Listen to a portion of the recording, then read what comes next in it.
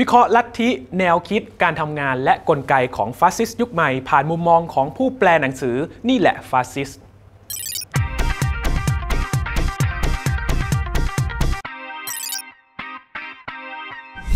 Podcast Review กับรายการหลบมุมอ่านครับพูดคุยถึง 10 กลวิธีของฟาสซิสต์ในยุคปัจจุบัน ผ่านมุมมองของดร.ธนเชษฐ วิสัยจร ผู้แปลหนังสือนี่แหละฟาสซิสต์ของเจสันสแตนลีย์ครับ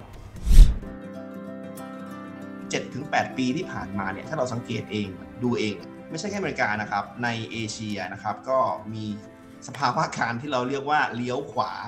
เมื่อ 30-40 ปีที่แล้ว เราจะเจอภาวะว่าเลี้ยวซ้าย ตอนนี้เลี้ยวขวา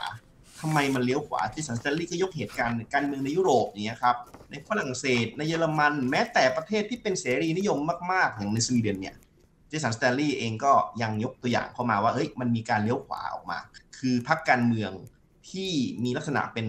อนุรักษ์นิยมเนี่ยมันได้รับพื้นที่มากขึ้น แม้กระทั่งในอินเดีย หรือในพม่าอย่างเงี้ยครับ สิ่งที่ผมมานั่งคิดนะครับ การพูดคุยกันหลาย ๆ ครั้งกับเพื่อนร่วมงานนะครับเขาบอกว่าหนังสือเล่มนี้ของเจสันสแตนลีย์เนี่ยพูดถึงวิธีการทำงานของลัทธิฟาสซิสต์ถ้าเราจะแปลตรง ๆ นะครับ แต่พอตัวอย่างที่สแตนลีย์เอามาใช้เนี่ยโอเคมันเป็นวิธีการทำงานของฟาสซิสต์แต่หลาย ๆ คนรวมถึงตัวอย่างเนี่ยเขาไม่ได้เป็นฟาสซิสต์นะครับ มันแค่มี มีองค์ประกอบบางอย่างของลัทธิฟาสซิสต์ในอดีตอะถ้าเป็นสุดโต่งก็คือฮิตเลอร์นาซีใช่ไหมครับ แต่ในปัจจุบันเนี่ยมันก็มีอะไรหลายอย่าง ซึ่งยังมาปรากฏอยู่ในในปรากฏการณ์หรือพรรคการเมืองซึ่งสแตนลีย์ใช้นะครับ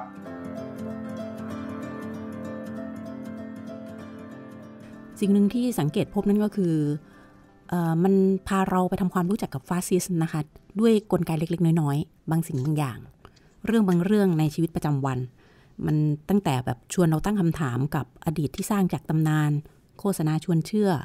การต่อต้านปัญญาชน ความจริงรวงตาลำดับช่วงชั้น ภาวะตกเป็นผู้ถูกกระทำกฎหมายและความสงบเรียบร้อย ความหวั่นวิตกเรื่องเพศ นครโซดอมและกอมเมราแล้วก็การงานมอบเสรีภาพนะคะอันนี้ก็คือเป็น 10 บทที่มีอยู่ในนี้ แต่ทีนี้เวลาที่เราอ่านไปค่ะ เราจะรู้สึกว่า เออมันมีบางอย่างที่มันใกล้เคียงกับเรานะ อาจารย์รู้สึกแบบนั้นบ้างไหมคือ บางประเด็นมันเป็นเรื่องที่เข้าใจได้เลยทันที ทีนี้ลองมาแงะกันดูว่าอาจารย์ได้พูดถึงว่าสิบเสาหลักของเขา ในแต่ละอันเนี่ยค่ะ